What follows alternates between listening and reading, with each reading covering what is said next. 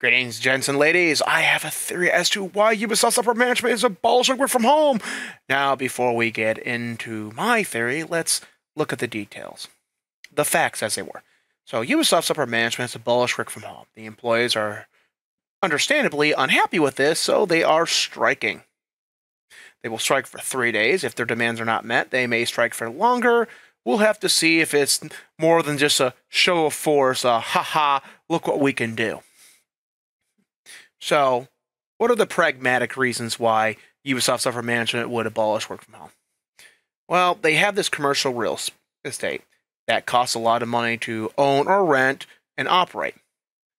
If you don't have employees working there, you don't have a justification for spending that money.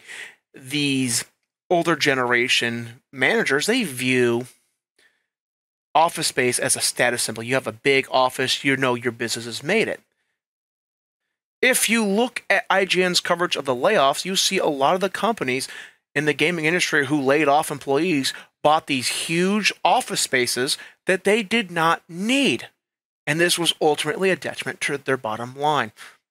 For some reason, these people are obsessed with owning these big offices, even though they are not conducive to productivity. And then you have the other less obvious answer where you don't really need that many middle managers if everyone is working from home. Because realistically, software can take the role of middle managers, allowing people in lead positions to direct the people underneath them. All you really have to do is set up a competent chain of command, and you can eliminate a lot of middle managers. So the middle managers are very interested in making sure office spaces return. Then you have my personal theory one thing about work from home that a lot of people don't consider is it tracks your metrics. The company knows whether you're getting tasks done, how much work you're able to accomplish in the time frame you're you're working, and overall just how productive you are. They have metrics measured by the software, or at the very least, they can look at okay, we gave employee X task, they were able to complete X task in X time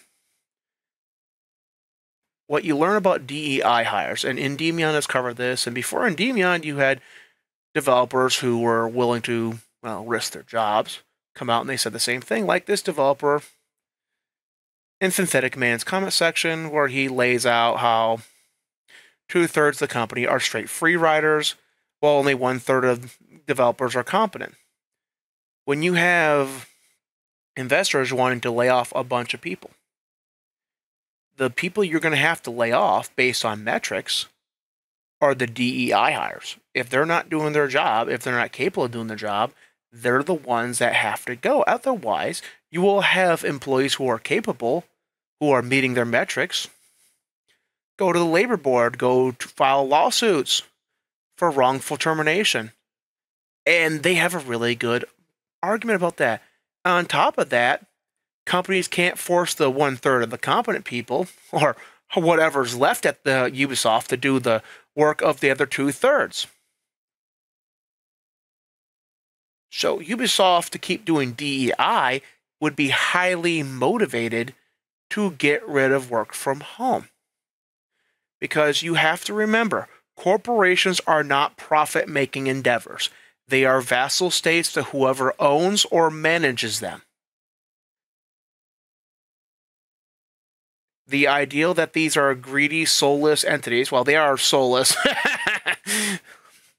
but all they care about is profit is a misnomer.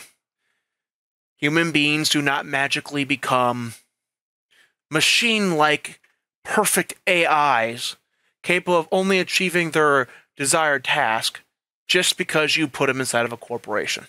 They don't become perfect when you put them in charge of a state.